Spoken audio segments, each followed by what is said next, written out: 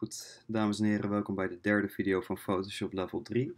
En we gaan het vandaag hebben over je werk printen en daarbij dus gaan we het hebben over pixels. Ehm, we hebben inmiddels geleerd om uh, een beetje te kunnen photoshoppen. En stel dat jij nou een toffe foto hebt gemaakt met je camera en daar vervolgens in Photoshop echt wat vette dingen van hebt gemaakt. En op een gegeven moment komt het einde van de periode eraan en je hebt zoiets van, weet je wat, ik wil deze foto gaan afdrukken, want ik wil die gewoon bij bijvoorbeeld een schouw of wat dan ook aan de docenten kunnen laten zien. En dan dus in plaats van dat je het op je computer laat zien, wil je het gewoon mooi afdrukken. Zodat we dan even dat fysiek hebben. Dat we echt die foto in het echt zien.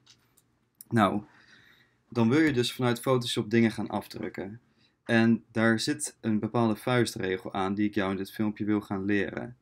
Maar voordat we daar komen, gaan we het eerst even hebben over jouw foto op de computer. Want wat is dat nou eigenlijk? Um, er zit namelijk een enorm verschil tussen de foto op je beeldscherm en de foto als je hem gewoon afgedrukt hebt op papier of op fotopapier of wat dan ook. Want een beeldscherm werkt namelijk met pixels. En als het eenmaal op een foto is afgedrukt, dan is er geen sprake meer van pixels, snap je? Dan heeft die printer heeft het gewoon allemaal netjes geprint als het ware. En die pixels die, waar ik het over heb, die wil ik even met je gaan bekijken aan de hand van de foto die ik dus geopend heb. Want het is heel makkelijk gezegd dat dit dus een prachtige foto is van een meisje. Maar wat hier in feite gebeurt, is eigenlijk een soort van optische illusie. Want als ik met het vergrootglasje dus heel erg ver inzoom op bijvoorbeeld haar wenkbrauw. Kijk, we zien dat we heel ver inzoomen op de foto en de kwaliteit blijft nog heel erg mooi. Het is een hele goede foto.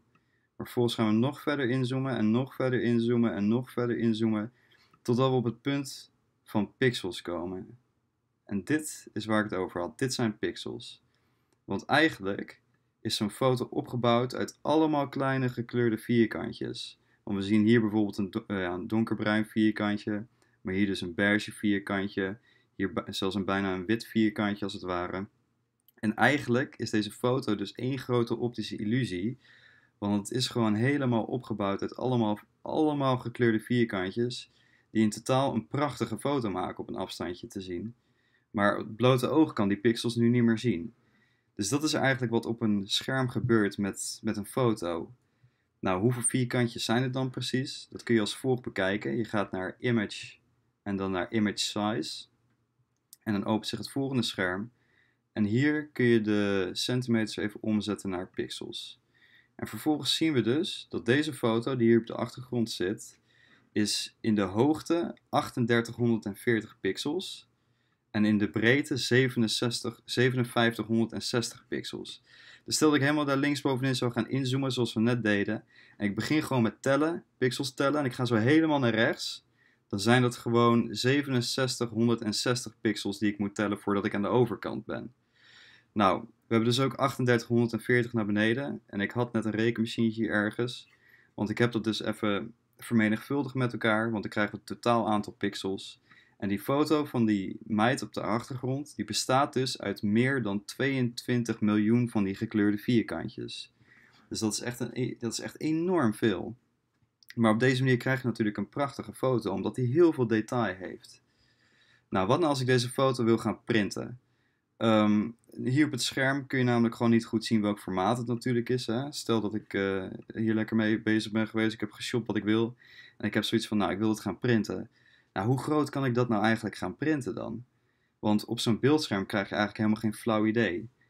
Um, we kunnen naar hetzelfde scherm gaan als net. En hier kunnen we in plaats van pixels, kunnen we de boel op centimeters zetten. Want dan krijgen we gewoon een goed idee van hoe groot we dit kunnen printen. En hij zegt dus het volgende. Nou, de hoogte is dus 135 centimeter en de breedte is dus 203.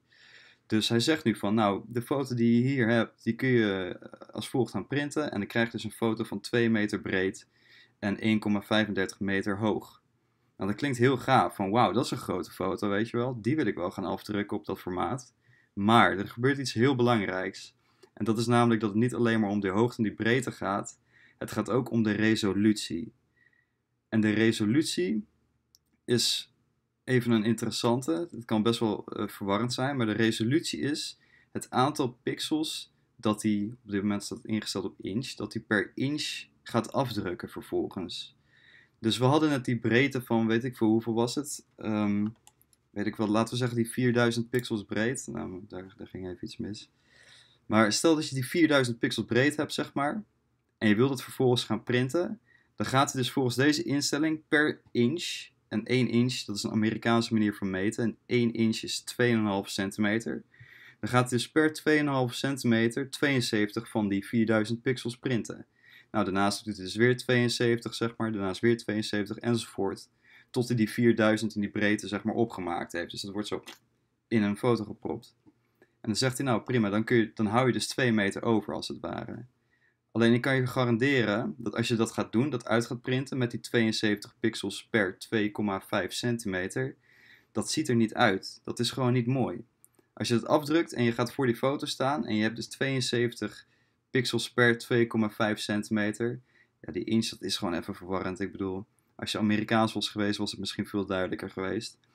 Maar waar moeten we nog even van inch ook omzetten naar centimeter?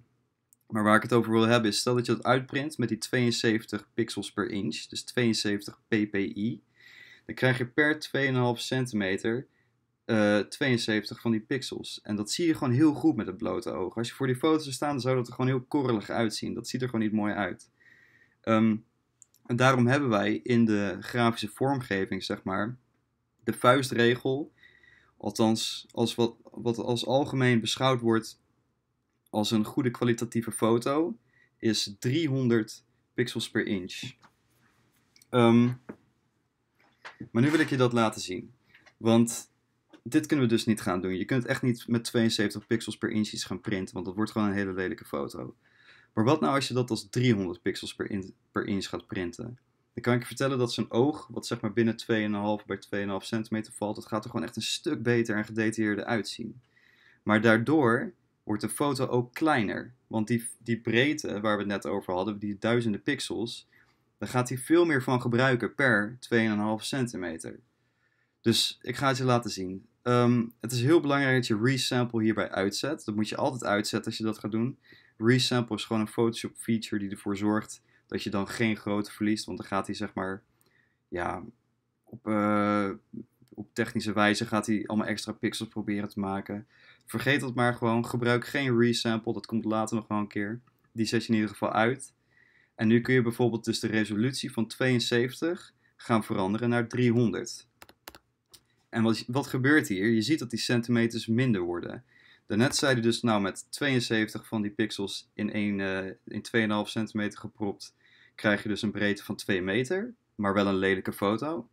Maar als je hem op 300 zet, dan wordt hij in één keer veel kleiner. Dan wordt hij in één keer 48 centimeter breed. Dus een halve meter breed. Dus dan krijgen we ongeveer ja, zoiets, zeg maar, in plaats van die 2 meter. Maar deze foto met 300 ppi ziet er gewoon super mooi uit. Het is echt een super strakke foto. Dan kun je met je ogen echt bovenop gaan zitten turen en dan heb je nog steeds gewoon een prachtig beeld. En dit moet je onthouden. Als je iets gaat printen vanuit Photoshop of wat dan ook, gebruik altijd 300 ppi. Want dat is gewoon de meest, ja, een hele mooie kwaliteit van foto's printen.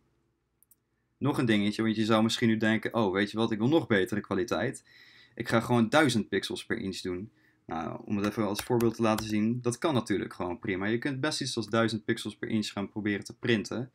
Dan hou je gewoon een nog kleinere foto over, 14 centimeter, dus dan hebben we zoiets. Maar ik kan je garanderen dat je het verschil gewoon niet ziet. Het verschil zie je gewoon bijna niet tussen 300 pixels per inch en 1000 pixels per inch. En dat ligt gewoon echt aan ons menselijk oog. Wij zijn gewoon niet in staat om dat verschil in detail te kunnen zien. Maar als je onder de 300 pixels per inch gaat, dat zien we wel. Dan zien we gelijk van, ah, dat is lelijk. Ah, dat is pixelig, weet je wel. Dan krijg je dat weer. Dus over het algemeen wordt gewoon gezegd, 300 pixels per inch is de manier om foto's te printen. Um, open even een aantal van je foto's die je gemaakt hebt of wat dan ook. Zet de resolutie op 300 pixels per inch. En kijk maar eens even hoe groot jij dan in centimeters jouw foto kan printen. Uh, ik hoop dat deze video op deze manier een beetje duidelijk is over resolutie en over pixels.